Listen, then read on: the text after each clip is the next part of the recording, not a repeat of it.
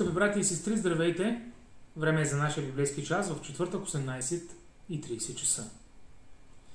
Навлизаме в последната глава на Евангелие според Лука, 24. Тази вечер ще спрем нашето внимание на Възкресението на Христос и първата част от срещата на учениците по пътя за Емаус. Нека в самото начало да се помолим. Господи святи, благодарим Ти, че в това време можем да, се, да бъдем заедно, макар и разделени от разстоянията, но Господи, заедно в духа, изучавайки, размишлявайки и потапяйки се в Твоето Слово. Благодарим Ти, че свещените писания са пред нас и Ти благодарим, че Господи ще размишляваме тази вечер над Твоето възкресение. Молим Те, благослови ни, отвори умовете ни, отвори очите ни, Благослови размишленията на сърцата ни, Отче Святи. Всичко това просим и молим в святото име на Господ Исус Христос. Чрез Светия Твой Дух, Отче. Амин. Ще разгледаме главата пасаж по пасаж. Нека първо да прочетем текста от 1 до 12 стих. А в първия ден на седмицата, сутринта рано, жените дойдоха на гроба, като носиха аромати които бяха приготвили. И намериха камъка отвален от гроба. И като влязоха, не намериха тялото на Господ Исус. А докато бяха в недоумение за това, ето пред тях застанаха двама мъже с ослепително облекло. И обзети от страх, те наведоха лица към земята. А мъжете им казаха, защо търсите живия измежду между мъртвите? Няма го тук, но възкръсна. Спомнете си какво ви говореше, когато беше още в Галилея като казваше, че човешкият син трябва да бъде предаден на грешни човеци, да бъде разпънат и на третия ден да възкръсне.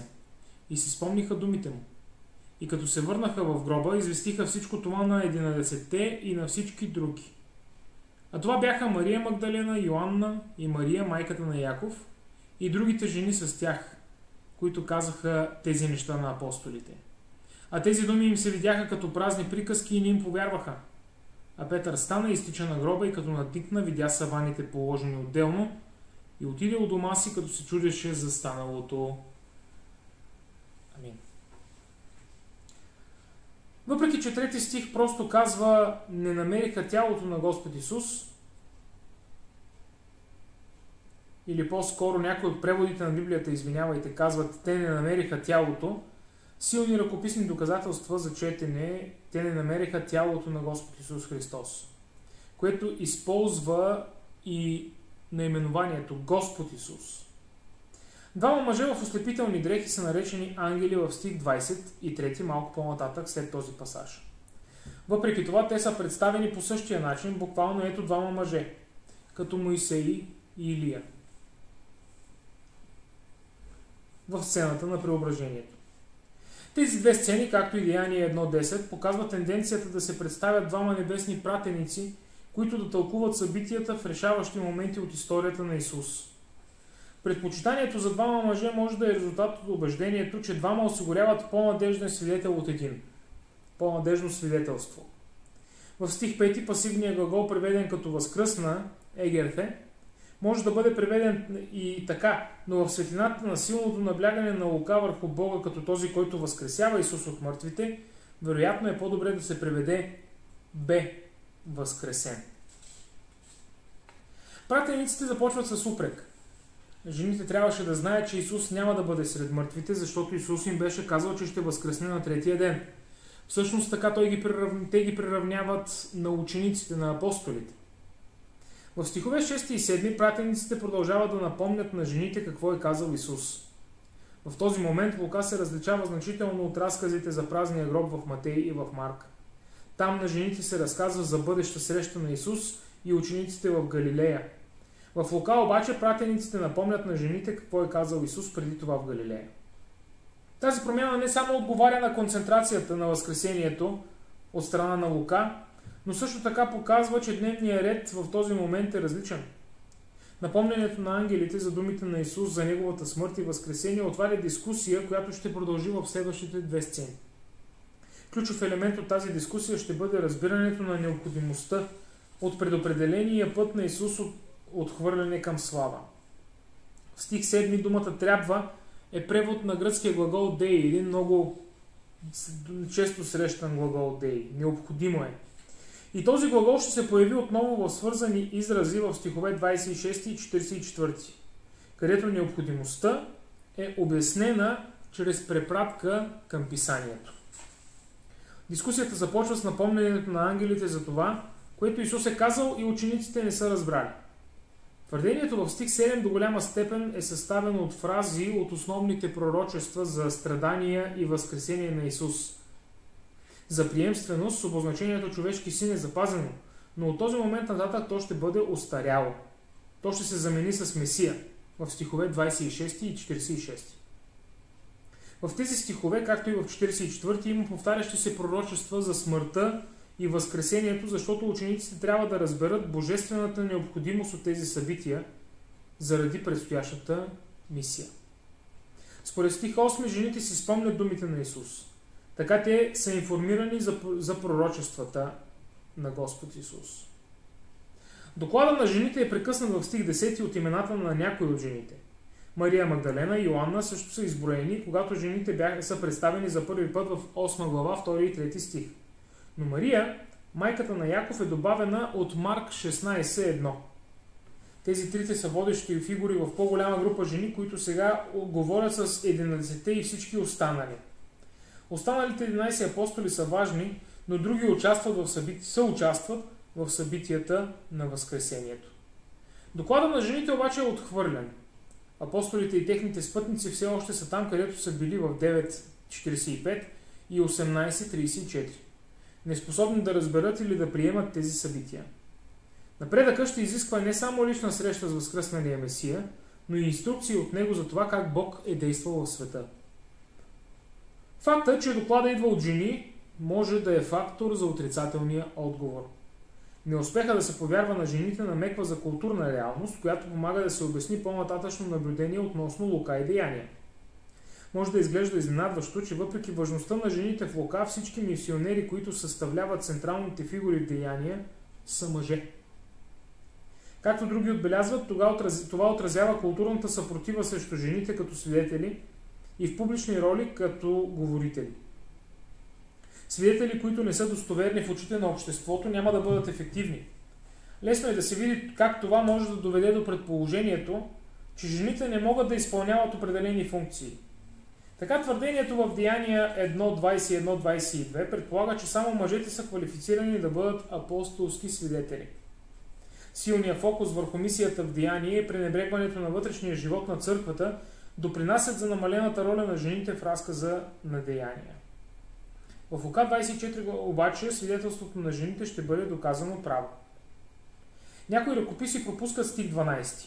А Петър стана и изтича в гроба, като надникна, на гроба, като надникна, видя саваните положени отделно и отиде от дома си, като се чудеше за станалото. И в нашия превод този стих е в квадратни скоби. Според този стих, Петър наистина отговаря на посланието на, на жените, като проверява гробницата. Той намира ленените кърпи, саваните, които са на отделно място. Той е изумен, но това още не е вяра. Той не разбира какво се случва. Той е очуден. Жените си бяха объркани, когато не намериха тялото. А по-късно обобщение показва, че посланието на жените изумило унези, очудило унези, които го чули. Петър е в същото състояние на недоумение и очудване. Специалното внимание, което се отделя на Петър тук, помага да се преодолее пропаста между молитвата на Исус Петър да се обърне и да укрепи братята си.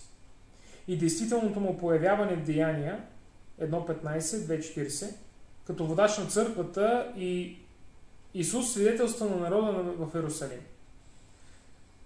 В Лука 24 на публиката се дава някакво усещане за стъпките в обръщането на Петър. Останалите истории за Възкресението в Лука 24 имат само далечна връзка с всичко в другите Евангелия. Най-развития разказ се отнася до двама ученици, не и апостоли. Въпреки, че този разказ се отнася до подчинени е, герои, до такива, които са второстепенни, той е важен, защото позволява на разказвача да определи нивото на разбиране на учениците и да покаже промяната, която трябва да се случи, за да стигнат до вярата. Това позволява на разказвача да представи тази промяна като процес на откровение. Разказвача не се задоволява за възкресение, което би могло да бъде разказано по-кратко. Мястото, отделено на разговора по пътя, показва колко е необходимо вярващите да имат ново разбиране за това, как смъртта и възкресението на Исус отговарят на Божията цел. Двамата ученици вече говорят за случилото се с Исус, преди той да се присъедини към тях.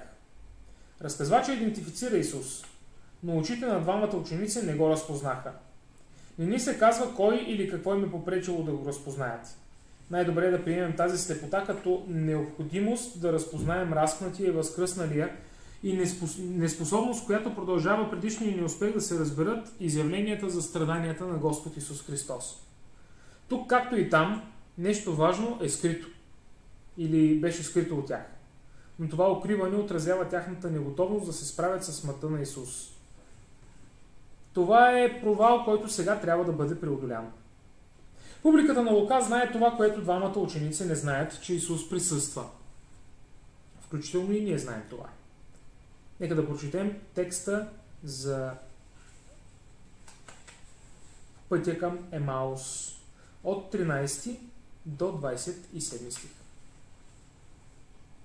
И ето в същия ден двама от тях отиваха в едно село на име Емаус, отдалечено на 60 стадия от Иерусалим. И те разговаряха помежду си за всичко това, което беше станало. И докато разговаряха и разискваха, сам Исус се, доближи, се приближи и вървеше с тях. Но силата на очите им беше отслабена, за да не го познаят. Той им каза, какви са тези думи, които разменяте помежду си по пътя? И те се спряха на тъжени. И един от тях на име Клеопа му отговори, нима само ти ли си пришелез в Иерусалим и не си узнал това, което стана там тези дни? И ги попита, кое? А те му отговориха, станалото с Исус Назарянина, който беше пророк силен в дело и слово пред Бога и пред целия народ. И как нашите главни свещеници и началници го предадоха да бъде осъден на смърт и го разпънаха. А ние се надявахме, че той е този, който ще избави Израил. Освен всичко това, вече е трети ден, откакто стана това. При това и някои от жените измежду нас не смаяха, като отишли рано сутринта на гроба и не намерили тялото му. Дойдоха и казаха, че видели и видение на ангели, които казали, че той бил жив. И някои от онези, които бяха с нас, отидоха на гроба и намериха всичко така, както казаха жените, а не го не видели. И той им каза, он е разумни и мудни по сърце да вярвате във всичко, което са говорили, говорили пророците. Не трябваше ли Христос да пострада така и да влезе в своята слава? И като почна от Моисей и от всички пророци, им тълкуваше писаното за него във всичките писания. Та ето, че ние като читатели и публиката на Лука знаем това, което двамата ученици не знаят. Исус присъства там. И това води до иронична гледна точка към тези ученици. Наблюдаваме ги как се спъват в слепотата си, защото Клеопа опреква Исус, че не знае какво се е случило, въпреки че Исус е, единств... Исус е единствения, който наистина знае какво се е случило. Въпреки че той е единствения, който наистина знае. Ироничната гледна точка може да бъде използвана за поглед върху, към тези ученици не от добра гледна точка. Тук не е така обаче. Тъй като в стихове 26 и 27 двамата ученици на пътя получават важна информация, която публиката на Лука трябва да се бори да разбере, обръщайки колата, така да се каже. В началото на този разказ иронията позволява на публиката на Лука да преживее събитията от двойна гледна точка. Те могат да преживеят срещата с Исус като както от гледна точка на двамата ученици, така и от една по-висша гледна точка, която разкрива, разкрива как изглежда човешката слепота, гледана отвъд. Тъй като Лука и Деяние свидетелства на Бог, който действа по ирония, оставяйки хората в позицията на учениците на Емал, на, по пътя за Емаус, публиката има възможност да оцени основната човешка ситуация. Богът, който действа чрез ирония, е особено разкрит в събитията от смъртта и възкресението на Исус проучващите въпроси на Исус карат учениците да дадат кратко обобщение на историята на Лука, което показва какво разбират учениците и какво не. Резюмето отразява точно гледната точка на Лука и затова трябва да се приеме, че е вярно доколкото стига. Но Исус ще добави едно важно богословско прозрение. В стих 19 той е описан като пророк силен на дело и на думи. Исус говори за себе си като, като пророк в 4.24 и 13.33. А проповедниците в Деяния ще представят Исус като пророка, като Моисей в Деяния 3, 22 и 7, 37. Освен това в Деяния 7.22 Моисей е описан почти по същия начин като Исус в Лука 24.19. Приликата с Моисей не означава, че учениците имат плитка христология, тъй като разказвача на Лука намира просветление във факта, че Исус и неговата работа следват библейски модел.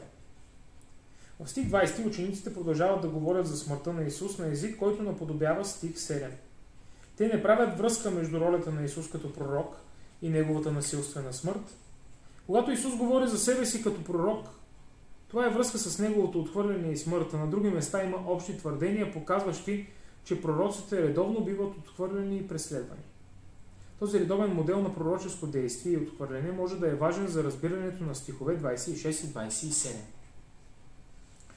Отчаяното изявление за изгубена надежда в стих 21 е обобщение на надеждите, изразени в разказа за детството от Лука.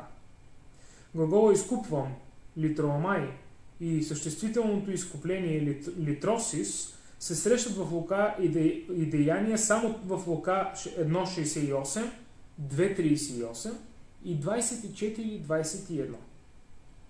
Радостните очаквания за изкуплението на Израил в детския разказ са предадени и отново са изразени от учениците по пътя на Емаус, към Емаус. Но сега те говорят за минала надежда, която е била провалена. Тълкователите, които взимат надеждата като основна отправна точка на Божията цел в Лука 1 и 2, говорят за Исус като за Месия, който ще изкупи Израил от потисничеството. Учениците по пътя за Емаус бяха прави да споделят тази надежда, но те, подобно на другите, не се съобразяват с отхвърлянето на Исус в Иерусалим. Поради това развитие тяхната надежда може да се реализира само по изненадващ начин. Явленията на Възкресението ще предизвикат прераждане на тази надежда за Израил. В Деяние 1.7 Исус коригира предположението на учениците, че тази надежда ще се изпълни незабавно – Доклада на учениците за Исус е завършен с доста подробно обобщение на най-скорошните събития, тези, които са се случили рано тази сутрин. Доклада на жените, изготвени от е, изказан, е, придава удивление, но не и вяра, очудване, но не и вяра.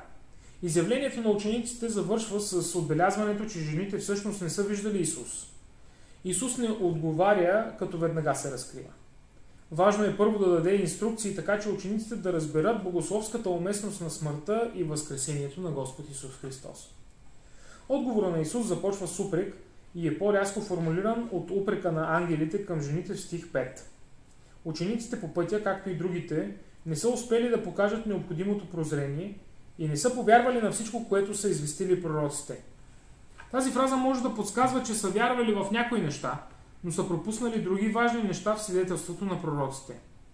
В стих 26 Исус се съсредоточава върху решаващ дефицит в разбирането и вярата.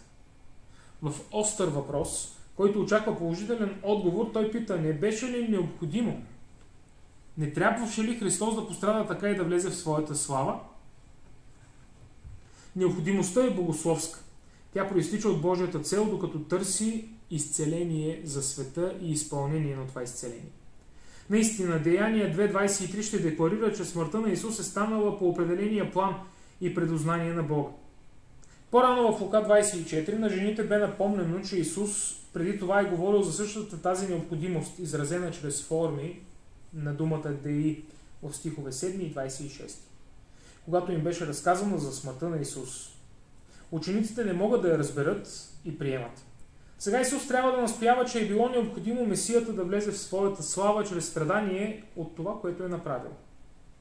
Цялото това подчертаване предполага мистерия, която по своята същност е трудна за разбиране.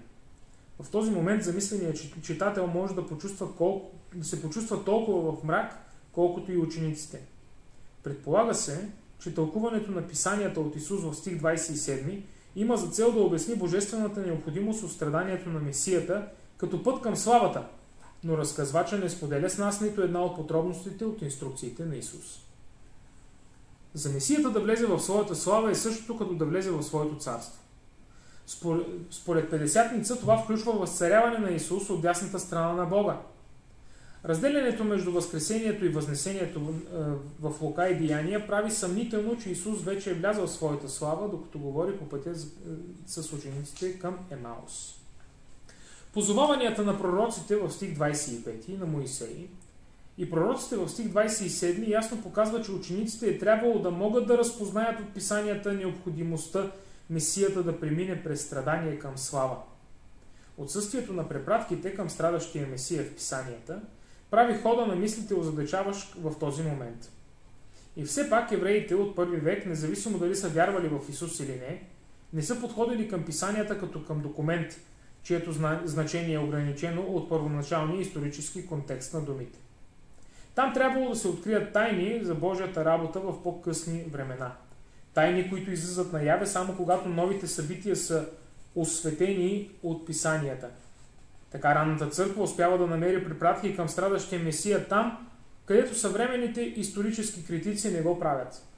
Разказа вече цитира или споменава някои от съответните текстове в 2017, 42-43, в 22-37 и в 23-34-35. Тези други текстове ще се появят в проповядването на разпнатия Месия в деяние. Презумцията, че, че Давид е автор на библейски псалми, допринася за лекотата, с която псалм, псалмовите текстове се прилагат към потомъка на Давид Месията. И все пак, глобалният начин, по който се споменават писанията, предполага, че повече че се има в предвид повече от няколко избрани текста. Тук може да има значение едно предишно наблюдение.